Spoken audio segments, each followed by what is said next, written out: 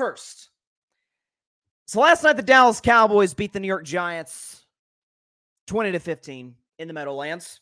And it was, for all intents and purposes, kind of a must win for Dallas. I mean, you listen, folks have waxed poetic about what their schedule ahead was going to look like. But if Dallas falls to one and three, right? You got at at my Pittsburgh Steelers. That's a tough one against the best defense in football. Then you got to come home. But as for the Detroit Lions, by the way, Dallas has yet to win a home game. We'll see if they can do so in week six. Then they got to buy. Then they got to go to San Francisco, a team that has up absolutely owned them in every which way. Okay. You got to deal with at the Atlanta Falcons. That's a problem. Then you got to go back home to play the Philadelphia Eagles. You stay home, but you play the Houston Texans. Then you go to Washington. I mean, it, is a it is an absolute gauntlet for Dallas moving forward. They had to win that game last night, and to their credit, they did. Would have been nice if Brandon Aubrey, you know, hit what would be for him a chip shot, a 50 yard field goal. Would have been nice if they'd have covered. That'd, that'd have been great. But really, for Dallas, watching that game last night, I, I couldn't help uh, but think of this. Because we know, I say all the time, I've said it for three years on the show, it's like quarterbacks league. Like we, we could talk about, listen, coaches matter. No question, coaches matter. I can't I can't emphasize that enough. Your roster, what you have around you, a defense, weapons, all that, that all matters. No question about it. But it's all relevant if you don't have that guy at the quarterback position. And I could not help but ask myself the question, and I'll ask you, the audience, those that are watching right now. Take Dak Prescott off the Dallas Cowboys. Take Daniel Jones off the New York Giants. Insert uh, who's the guy we are we all agree is a pretty average quarterback. Like who's pretty pretty average? Uh, you know, Justin Fields maybe. I'm I'm a Steelers fan, but I am objective. Uh, Justin Fields. You know, let's let's talk about the low end starter, high end backups as I call them. Andy Dalton, Gardner Minshew, like guys that are amazing backups. You'd prefer they not be your starters. Let's take those guys for example. Let's put them in the starting lineup for both these squads.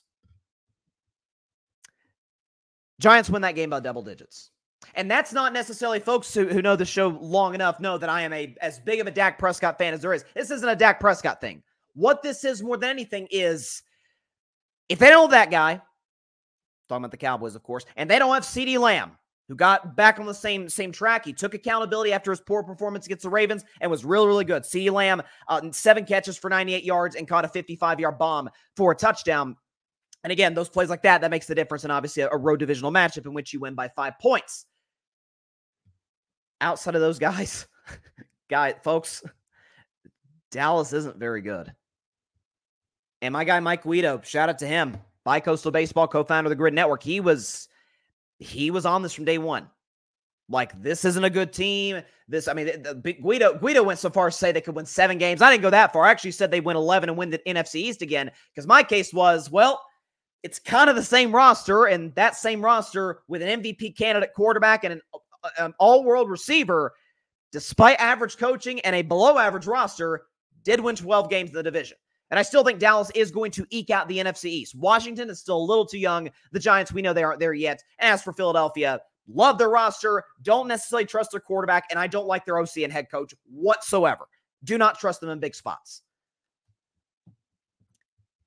just off of Dak, they'll be fine. We, we could show you the numbers. What Dak Prescott has done against this New York Giants team. I said on on on, on Wednesday show and I predicted this game. I said uh, matchups aside, because the Giants have the better coach, Brian Daboll. Like I, I was hearing folks say uh, today, "Oh man." You know, was it Chris Canty? Respect to Chris Canty, former NFL player, but I heard him say on ESPN, "Yeah, uh, this Brian Daboll may not survive this season." I'm thinking, I cannot imagine sitting there for three hours watching the football game that we watched last night, coming home with the takeaway.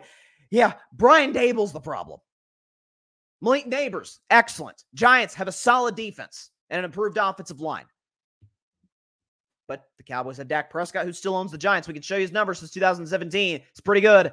271 pass yards per game, 28 tuds, six picks, complete 68% of his throws, 111 passer rating, and he is 13 and 0. Last time Dak lost to the Giants, Obama was president. Mahomes was at Texas Tech. That's where we were at uh, in, in, in America.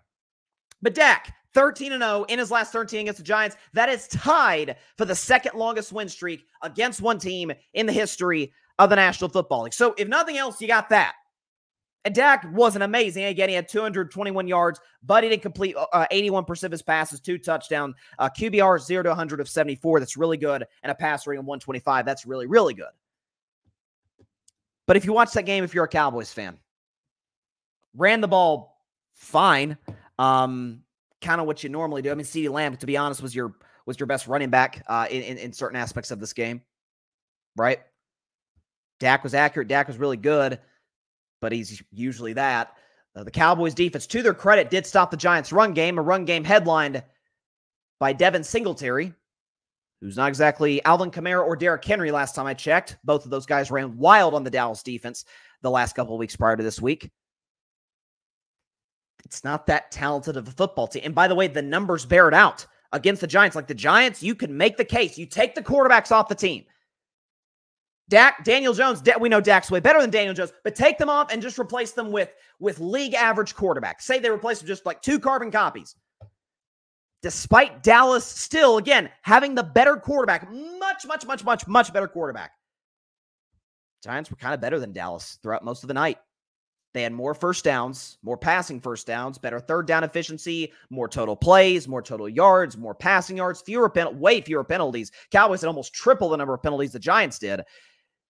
And time of possession, they dominated Dallas, despite really not having that much of a run game, which is the ironic part about it. Is that Dallas couldn't get off the field? The Giants, it reminded you a lot of the Washington Commanders game, which it, the difference is Giants were able to cash it in the end zone, even though they lost the game. The Giants moved the ball really well on Dallas. They just had they just came up short in the red zone. They came up, you know, empty in a lot of these cases. Had to settle for field goals. This like this should not have been a game in many aspects. And Dallas isn't creative in offense. Dak is force fe- force feeding one guy because it's the only guy that he trusts because the only guy who's earned his trust. The O line got worked again. Tyler Guyton, he's a rookie. He's only four games into his career, so we can't we can't you know judge what he's going to be the rest of his career just off these first four games. But he's not been very good. Like he has not been very good. This running game is non-existent, and the defense, which by the way just lost Micah Parsons and Demarcus Lawrence for potentially two to the next uh, two of the next three weeks.